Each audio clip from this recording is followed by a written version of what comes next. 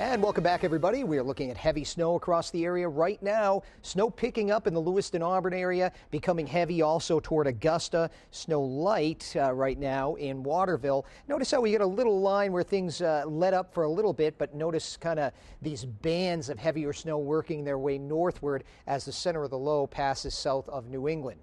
So more snow in the forecast. And again, the heaviest of it is going to be in the warning area, which is outside the mountains. Snowfall reports so far, well, it's piling up. Portsmouth, New Hampshire, six inches.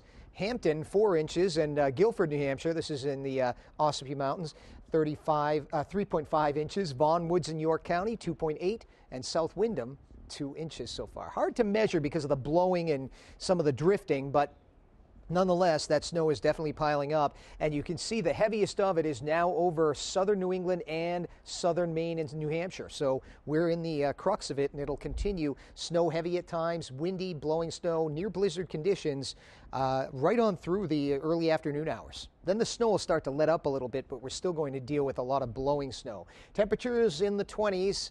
No major changes here, and they won't be getting much higher than that, probably 20s to around 30. Here's our storm. Watch it kind of skirt across uh, Cape Cod and then on into the Gulf of Maine. Heavy snow likely to continue until the early afternoon hours. Then things will start to let up when the storm starts to pass to the east and uh, moves toward Nova Scotia. In fact, tonight we may even get some clearing late tonight after a few early snow showers, and then tomorrow looks like a much better day.